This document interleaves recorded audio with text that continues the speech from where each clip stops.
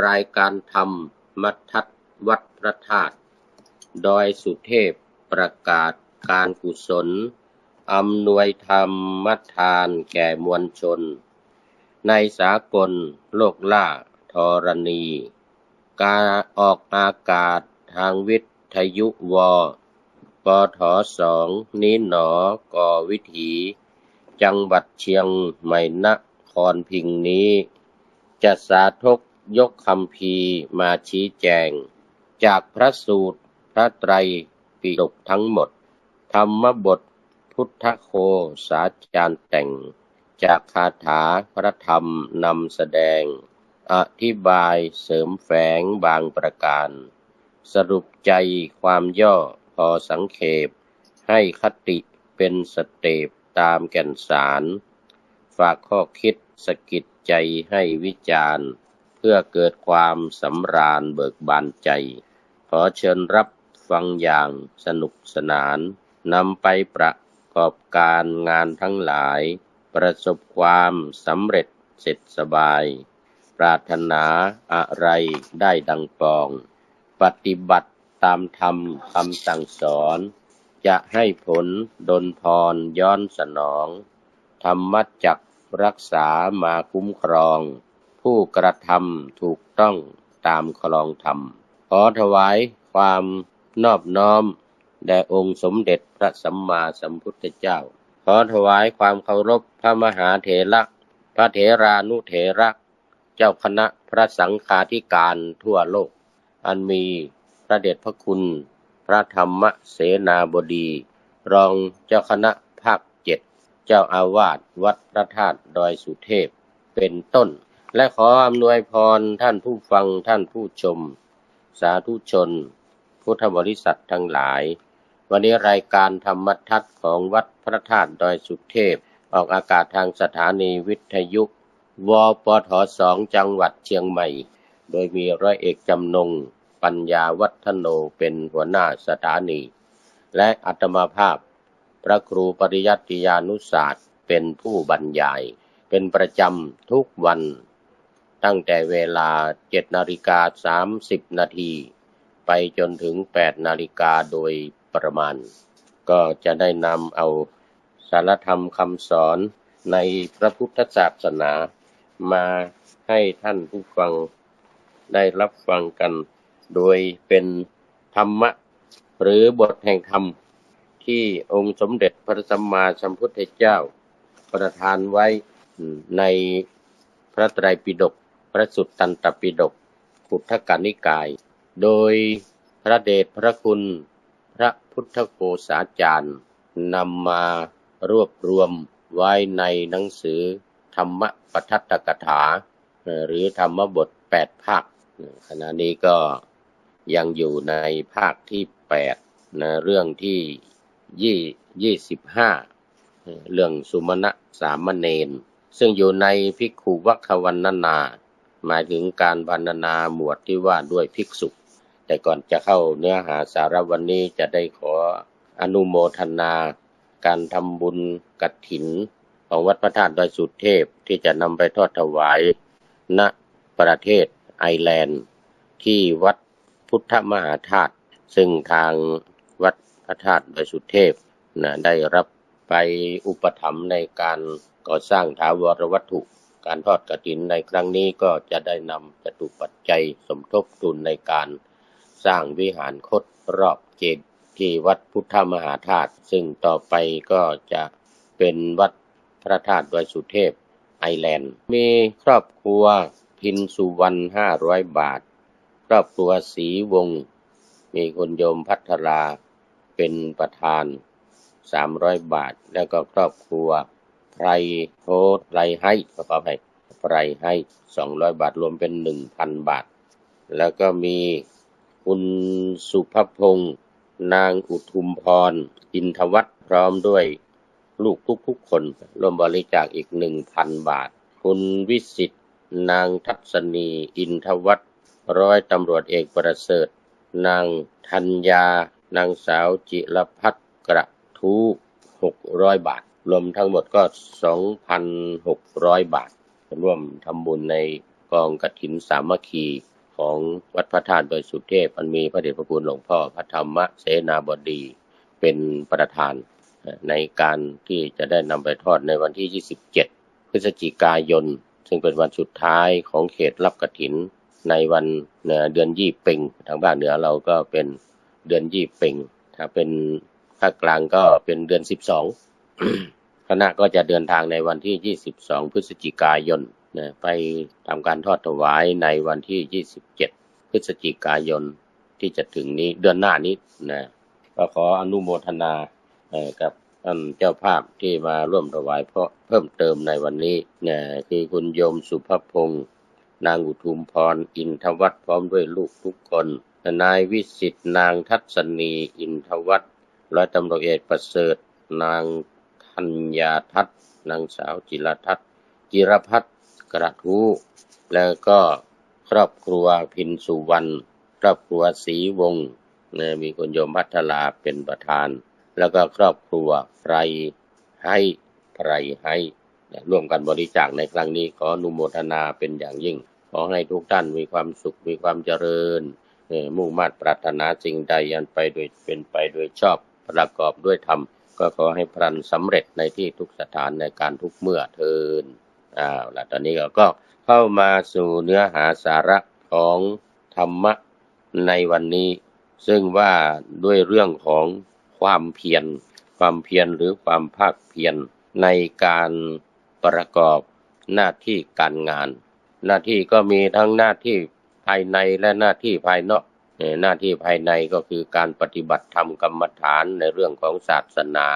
การปฏิบัติสมถกรรมฐานวิปัสสนากรรมฐาน หรือการศึกษาเล่าเรียนพระไตรปิฎกธรรมวินัย พระอภิธรรม ทั้งหลายเหล่านี้เป็นหน้าที่ภายในของญาติโยมพุทธบริษัท ส่วนภายนอกก็มีการทำงานตามตำแหน่งหน้าที่ของตนเองในทาง เอกชน ในทางราชการ โรงเรียนวิทยาลัยมหาวิทยาลัย เป็นครูบาอาจารย์เป็นเจ้าหน้าที่อะไรต่างๆ ทางด้านทหารตำรวจก็เป็นงานทางราชการ ส่วนงานทั่วๆไปที่ท่านทั้งหลายทำกันไม่ว่าจะเป็นการค้าการขายทำไร่ไถนาทำสวนทำกิจกรรม กิจการงานต่างๆ ส่วนตัว เมื่อได้ใช้ธรรมะเข้าไปประกอบ ก็จะทำให้ประสบความสำเร็จ โดยเฉพาะในเรื่องของความภาคเพียรความพยายามในการทำงาน ไม่มีการท้อถอย มีความมุ่งมั่น ภาคเพียรมุ่งมั่นพยายาม อดทน มีความอดทน มีความภาคเพียรพยายามนี้ ก็จะประสบความสำเร็จจะพบกับความสุขพ้นจากความทุกข์ดังพุทธภาษิตที่ว่า วิริเยนะทุกขมัจเจติคนที่จะร่วงทุกข์ได้พ้นจากความทุกข์ได้ เพราะความเพียรเพราะฉะนั้นความเพียรนนี้จึงถือว่าเป็นสิ่งที่สำคัญมากภายในและภายนอก โดยการโดยเฉพาะการปฏิบัติธรรมภายในทำธรรมกรรมฐาน ต้องมีความภาคเพียรพยายามไม่ย่อท้อเหมือนเดียวกันกับการทำงานในภายนอก ไม่ว่ากิจการงานอะไร ถ้าไม่ท้อไม่ถอย สู้ต่อไปทำต่อไป มีความภาคเพียรพยายาม อุตสาหะบากบัน่นมุ่งมั่น ก็ย่อมจะประสบความสำเร็จในหน้าที่การงานนั้นๆสำหรับในเรื่องนี้ในเรื่องนี้มีสามเณรมาเป็นเรื่องเล่าประกอบ ในเรื่องของความมุ่งมั่นในการทำหน้าที่ในการทำความภาคเพียรพยายามนี้ ชื่อสามเณรสุ มนสุมณะหรือสุมนเนี่ยนะสุมณะสามเณรสามเณรสุมน เรื่องนี้พระศาสดาสมัยเมื่อประทับอยู่ในวัดบุพาราม ซึ่งเป็นวัดของนางวิสาขาสร้างด้วยโลหะล้วนๆโลหะปราศาสตร์ทำกุฏินี้เป็นโลหะ เป็นเหล็กล้วนๆเลย อยู่ทางด้านทิศตะวันออก เรียกว่าบุพารามของวัดเชตวัน ห่างจากวัดเชตวันไปสามกิโลเมตร ติดกับแม่น้ำมจิรวดี ตอนนี้วัดนี้ได้ พังทลายลงในแม่น้ำอจิรบดีหมดแล้ว ทั้งโลหะปราศาสตร์ทั้งกุศาลาบาทอะไรต่างๆ ของภิกษุสงฆ์สามเณรเพราะว่าอยู่ติดกับแม่น้ำอจิรวดีก็ล้มพังลงไปในแม่น้ำอจิรวดีหมด ไม่เหลือซากเหลืออยู่เลยนะสมัยที่อาตมาไปอยู่เมืองสาวัตถี วัดไทยสาวัตถีใกล้กับวิหารใหญ่วัดใหญ่เชตวันมหาวิหารนะก็พากันไปดู มี ก้อนอิฐวางเป็นหลักฐานไว้สองก้อนก้อนอิฐก้อนใหญ่ๆนะสมัยโบราณเขาก็เอาวางไว้เป็นหลักฐานว่าตรงนี้เป็นที่ที่วัดบุพารามเนี่ยเคยตั้งอยู่ แต่ว่าส่วนหนึ่งพังทลายลงไปในแม่น้ำอจิรวดีหมดแล้ว เหลืออยู่บนฝั่งพากันไปดูบนฝั่ง แม่น้ำอจิรวดี มีก้อนอิฐ ก้อนหินอยู่สองก้อนก้อนอิฐก้อนอิฐ อันนี้คือวัดบุพารามเป็นวัดที่นางวิสาขาสร้างขึ้นถวายแด่พระพุทธองค์ ความจริงก็ถวายปัจจัยให้แก่ท่านพระอานนท์แต่พระอานนท์ไม่รับเพราะว่ามันเยอะเกินไปเงินจากการขายมหาลดาประสาทคือเครื่องประดับของนางวิสาขา มีราคาแพง แล้วก็เอาถวายพระอานนท์พระอานนท์ไม่รับก็ถวายพุทธเจ้าก็ให้ไปสร้างวัดอุปาราม ซึ่งเป็นวัดที่อยู่ใกล้บ้านใกล้บ้านของนางวิสาขาสาขาได้มาแต่งงานอยู่เมืองสาวัตถีก็อยู่ตรงนั้นใกล้บ้านก็เลยสร้างวัดสร้างวัดหนึ่งวัดหรือวัดบุพาราม ด้วยเงินของตัวเองในการขายมหาลดาประสาทเครื่องประดับที่มีค่ามาก ซึ่งนางวิสาขาเนี่ยประกาศขายนะ แต่ว่าไม่มีคนซื้อเพราะมันแพง ก็เลยซื้อเอง ซื้อเอา ซื้อเอา เพราะว่าได้หวายเป็นของท่านพระอานนท์แล้ว เนื่องจากว่านางได้นำไปลืมไว้ที่วัดเชตวันน่ะแล้วพระอานนท์เป็นคนเก็บไว้นางถือว่าพระอานนท์จับต้องแล้วเนี่ยก็ถือว่าถวายกับท่านพระอานนท์แล้ว ก็เลยซื้อคืน แล้วก็เอาเงินนั้นไปสร้างวัดบุพาราม พระพุทธองค์ก็เสด็จไปจำพรรษาอยู่6พรรษาที่วัดบุพารามเนี่ยนะ6ปีที่วัด เชตวันเมืองสาวัตถีนี่19ปี19พรรษา19ครั้ง ก็รวมแล้วเป็น25ในเมืองสาวัตถี ทั้งวัดบุพารามและวัดเชตวัน พระพุทธองค์เมื่อประทับอยู่ที่วัดบุพารามนะนะในในช่วงของ6ปีนั่นแหละ ก็ปรารบสามเณรชื่อว่าสุมน แล้วก็แสดงธรรมะ แสดงธรรมกถา ตรัสธรรมกถาว่า โยหเวทาโรภิกขุ ยุนชติพุทธศาสเนภิกษุหนุ่ม รูปใดเนี่ยมีความภาคเพียรในพระพุทธศาสนา โสมังโลกังปะปภาเสติอัพามุตโตวัจันทิมา ภิกษุนั้นเป็นผู้ที่จะยังโลกเนี้ยให้สว่างสวัยเหมือนพระจันทร์ที่พ้นจากเมฆหมอก ในตอนเช้าไม่มีไม่มีเมฆหมอกมาบัง ก็มีแสงสว่างจ้าในตอนกลางวัน อันนี้ก็เป็นคุณของความเพียรความภาคเพียรพยายามย่อมประสบความสำเร็จย่อมประสบความจำสำเร็จเหมือนกับพระจันทร์ หรือพระอาทิตย์ที่ไม่มีหมอกไม่มีเมฆอะไรมาบัง ก็ย่อมจะมีแสงสว่างสว่างสวัยเนื้อเรื่องนี้ก็มีอยู่ว่าในการแห่งพระพุทธเจ้า ทรงพระนามว่าปทุมุตระพระเจ้าปทุมุตระที่เคยเล่าให้ฟังว่าเป็นรูปที่หนึ่งในจำนวนของพระพุทธเจ้าในพัทธกัปนี้ทั้งหมดมีแปดนะแปดรูป ปัจจุบันนี้มาอุบัติแล้วในโลกเจ็ดรูป คือรูปที่หนึ่งคือพระเจ้าพระพุทธเจ้าปทุมุตระนี่แหละ รูปที่หนึ่งมีอายุแปดหมื่นปีนะรูปที่สองพระสิกขีมีอายุเจ็ดหมื่นปี รูปที่สามพระเวสสภูมีอายุหกหมื่นปีนะรูปที่สี่พระ กกุสันทะมีอายุสี่หมื่นปี รูปที่ห้าพระโกนาคมณะมีอายุสามหมื่นปี แล้วรูปที่หกพระกัสสปะ พระพุทธเจ้าพระนามว่ากัสสปะมีอายุสองหมื่นปี แล้วก็มารูปสุดท้ายรูปที่เจ็ดอันยังไม่สุดท้ายนะรูปที่เจ็ดคือพระโคตมะ คือพระพุทธเจ้าของเราปัจจุบันเนี่ยสักยะวงศ์สักยะบุตรก็มีอายุแปดสิบปี อายุไขนะที่ว่านี่คืออายุไข อายุไข 80 ปี แล้วรูปสุดท้ายรูปที่ 8 ที่จะมาในพัทธกับนี้ก็คือพระศรีอริยเมตไตรรูปนี้ก็จะมีอายุถึง 8หมื่นปีจึงจะปรินิพาน เพราะนั้นคนทั้งหลายในยุคนั้นจะได้อยู่กับพระพุทธเจ้าเป็นเวลาถึงแปดหมื่นปี นับตั้งแต่ตนเกิดมาเนี่ยอยู่กับพระพุทธเจ้าแปดหมื่นปี นี่เป็นจำนวนพระพุทธเจ้าที่อุบัติขึ้นมาแล้วในโลก ในพัทธกับนี้ที่จะมาข้างหน้า หลังจากที่พระพุทธศาสนาของเรานี้หมดไปแล้ว แล้วคนก็อายุมากขึ้นมากขึ้นนะน้อยลงจนถึง 10 ปีก่อน แล้วก็ขึ้นไปอีก 100 ปีขึ้นไปอีก 1 ปี 1 ปี 1 ปีเนี่ยจนถึง 80,000 ปี พระพุทธเจ้าพระนามว่าสีอริยเมตไตรจึงจะอุบัติขึ้นในโลก แล้วก็อยู่อีก ห้าหมื่นปีได้ตรัสรู้เป็นพระพุทธเจ้า แล้วก็อยู่อีกสามหมื่นปีปรินิพาน อันนี้คือคติของพระพุทธเจ้าในพระพุทธศาสนา นับกันเป็นกับกับนับกันเป็นกับกับในครั้งนั้นสมัยพระพุทธเจ้าปทุมุตระก็มีกุลบุตรคนหนึ่ง เห็นพระศาสดาทรงตั้งภิกษุรูปหนึ่งไว้ในตำแหน่งอันเลิศกว่าภิกษุทั้งหลาย ผู้มีทิพจักสุคือมีจักสุทิพสามารถมองเห็น ทุกสิ่งทุกอย่างไม่ว่าใกล้หรือไกล ไม่ว่าจะมีอะไรบังจักสุทิพนี้จะมองเห็นหมด ในท่ามกลางบริษัทสี่ตนเองตนเองก็จึงปรารถนาอยากจะได้สมบัตินั้น สมบัติที่ว่ามีทิพจักสุเนี่ยก็จึงนิมนต์พระศาสดาถวายทานแก่ภิกษุสงฆ์มีพระพุทธเจ้าเป็นประมุขสิ้นเจ็ดวัน ทั้งเจ็ดวันพระพุทธเจ้าเป็นประมุขภิกษุสงฆ์ประมาณห้าร้อยพระพุทธเจ้าอีกหนึ่งเนี่ยนะ เป็นเวลาเจ็ดวัน แล้วตั้งความปรารถนาว่าพระเจ้าข้าแม้ข้าพระองค์พึงเป็นผู้เลิศกว่าภิกษุทั้งหลาย ผู้มีทิพจักสุในพระศาสนาของพระพุทธเจ้าพระองค์หนึ่ง ในอนาคตคืออยากจะมีจักสุทิพมาเหมือนกับเหมือนกับภิกษุผู้ได้รับแต่งตั้งให้เป็นเลิศทางด้านจักสุทิพคือสมัยพระพุทธเจ้าแต่ละองค์แต่ละองค์นี่จะตั้งภิกษุที่เป็นเอตทัคคะ คือเป็นเลิศคำว่าเอตทัคคะนี่แปลเป็นเลิศในเรื่องนั้นๆอย่างภาษาดิบุตรนี่เป็นเลิศในเรื่องของมีปัญญา แสดงธรรมได้ดี แสดงธรรมเก่ง ความจำแม่นมีปัญญาดี สมัยพระโมคคัลลานะก็เป็นผู้ที่มีฤทธิ์นี่ก็จะได้รับการยกย่องและแต่งตั้งจากพระศาสดาว่าเออเป็นคนรูปเนี้ยมีความเป็นเลิศทางนี้อย่างพระศิวลีก็มีเลิศทั้งทางด้านลาบมีโชคมีลาบมาก ไปทางไหนไม่อดไม่อยากเลี้ยงภิกษุสงฆ์ได้เป็น400 500รูปเวลาเดินทางไปไหน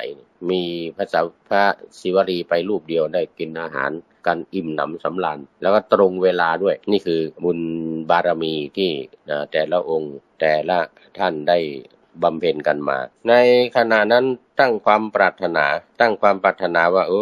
อขอเป็นเลิศในเรื่องของมี ทิพยจักษุเนี่ยคือจักษุทิพย์มองเห็นไกลเนี่ยมองเห็นในที่มืดที่ลับอะไรได้หมด พระศาสดาทรงตรวจดูสิ้นแสนกับทรงทราบความสำเร็จแห่งความปรารถนาของเขาแล้ว จึงทรงพยากรณ์ว่า ในที่สุดแห่งแสนกับแต่พัทธกับนี้ เธอจะเป็นผู้ชื่อว่าอนุรุทธะเถระคือพระอนุรุทธะเลิศกว่าภิกษุทั้งหลายผู้ได้ทิพจักสุในศาสนาของพระพุทธเจ้า ทรงพระนามว่า โคดม เขาฟังคำพยากรณ์นั้นแล้วสำคัญสมบัตินั้นดุดว่าอันตนบรรลุในวันพรุ่งนี้ถือว่าสุดยอด เมื่อพระศาสดาปรินิพานแล้ว จึงถามการบริกรรมเพื่ออันได้ทิพจักสุกับพวกภิกษุทั้งหลาย ให้ทำโคมต้นหลายพันต้น ล้อมพระสถูปทองอันสูงใหญ่เจ็ดโยชน์แล้วให้ทำการบูชาด้วยประทีป จุติจากอัตภาพนั้นแล้วเกิดในเทวโลกท่องเที่ยวไปในเทวโลกและมนุษย์โลก สิ้นแสนกับตามคำทำนายในกับนี้เกิดในตระกูลของคนเข็นใจ ในกรุงทารานสี อาศัยสุมาณะเศรษฐีเป็นคนขนหญ้า